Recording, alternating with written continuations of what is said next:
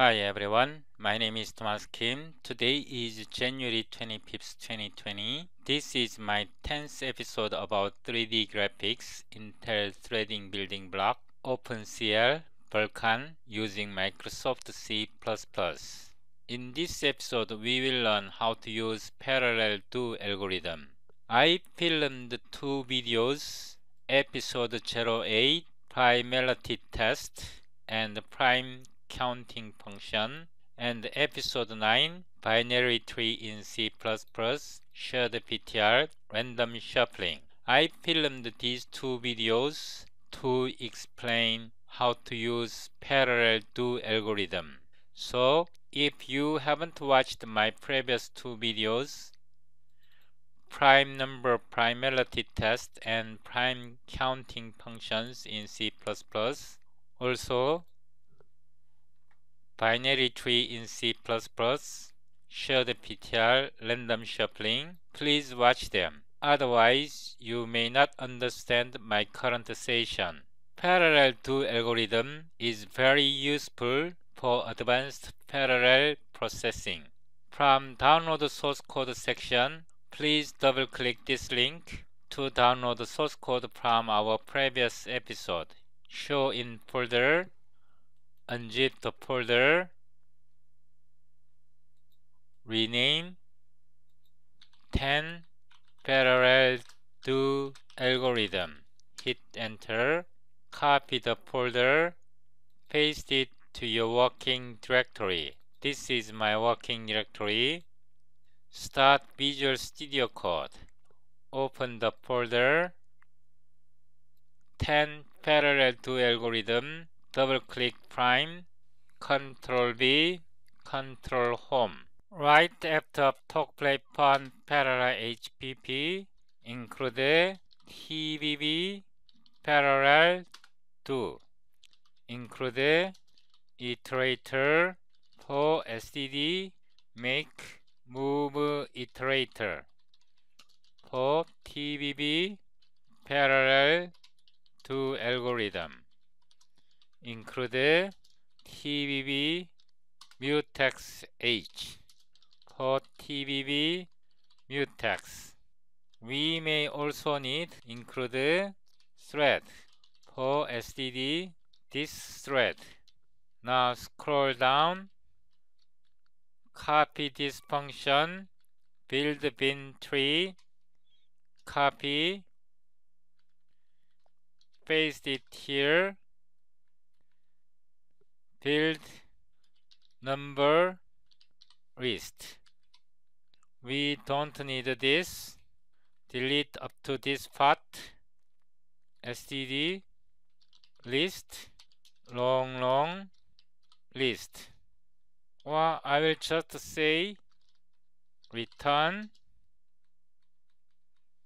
std make move iterator v begin. Std make move iterator v end sorry this is not v this is numbers. Numbers begin. Numbers end.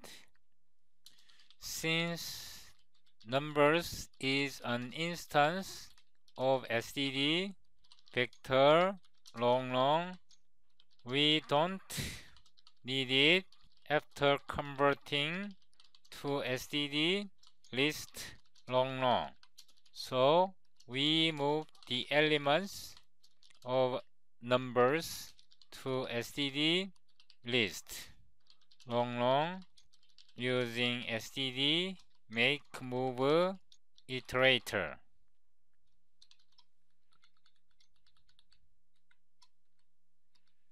Now here void test parallel do with list. Now I copy this function name, copy, paste it here,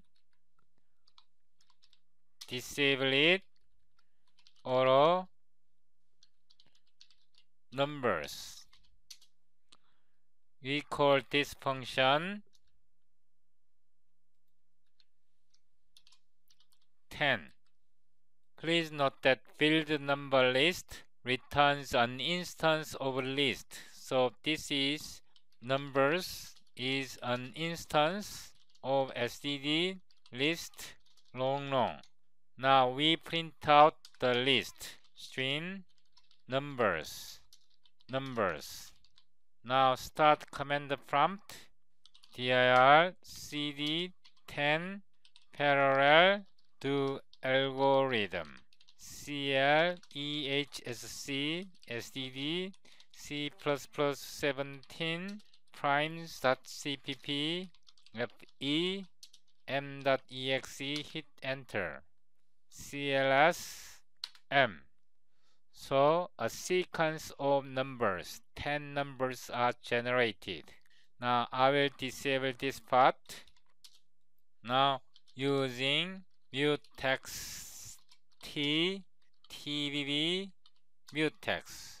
We defined a type mutex t mutex. Tbb parallel do numbers. We capture mutex. Please note that here using numbers t decl type numbers from this talk play fun removes constant reference t. So numbers t is equal to std list long long.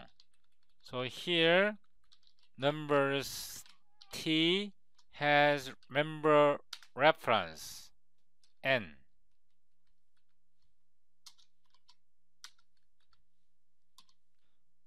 Now here mutex t we define the mutex here scoped lock lock mutex stream n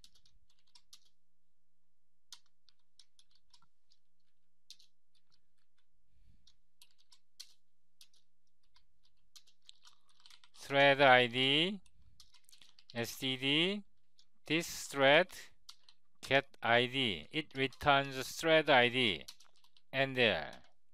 Here is prime n if n is prime is prime. Else is not p Now we call this function, we build again CLS. So 9 is not prime, 1 is not prime, 10 is not prime, 8 is not prime, 4 is not prime, 2 is prime, 3 is prime. This is thread ID. Now here I will change it to 100 and here stream main thread ID std this thread get ID and there. Now we build again CLS Main thread ID is 9564. 9564, these are run in main thread. And these are from another thread. This is from another thread. This is from another thread. So multiple threads are running simultaneously. I put mutex here.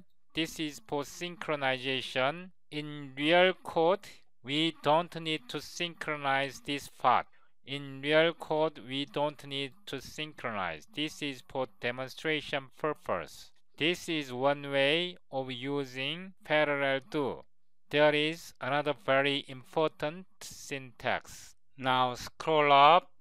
In our previous episode, we created beast left sequential. This is sequential algorithm. Now we will convert it to parallel algorithm. I will copy this function, copy, control N. I will paste it here.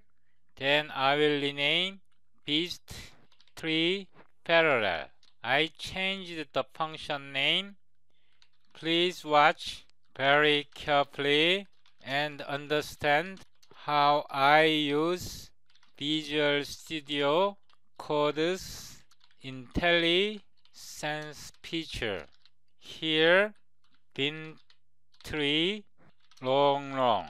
This is default value and I make pointer. Then here I put reference. Scroll down using mutex t tbb I create a type alias for mutex mutex t mutex I create an instance of mutex or visitor I capture mutex bin tree ptr ptr so this is a lambda now I copy this part. This is a sequential code. Cut. Paste it here. Now this is PTR. Because this parameter is PTR. Now here I will modify it LPTR. Sorry, I need one more parameter. TBB parallel do feeder we provide bin tree PTR reference feeder now here feeder at LPTR I will copy this part cut paste it here. RPTR feeder at RPTR. Now this part I make a block and we capture mutex t. This type is defined here. Scope lock lock mutex. The remainder is the same. I will change it to p. We don't need curly brace thread id std this thread get id control home or nl talk play fun nl this is new line character new line and flush to console. Control down. Instead of doing this NL it does not flush now after this stream and there. Flush to console. Do not forget to flush to console. Now scroll up. Copy this function.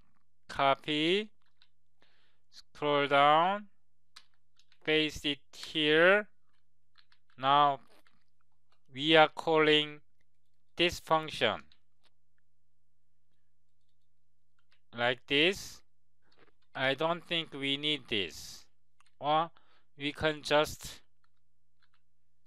remove this and we can flush here. Now I change it test tree beast parallel. Now copy this function name, copy, paste it here, disable this part, we build again. Sorry.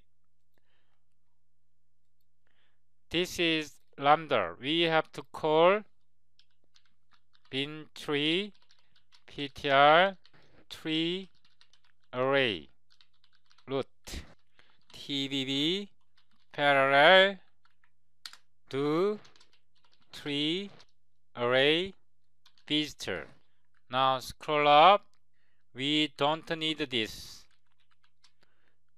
The reason I specified template parameter as this is to take advantage of Visual Studio Code's IntelliSense feature.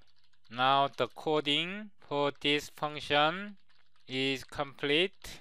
I change the parameter type to the real template parameter. So we don't need this.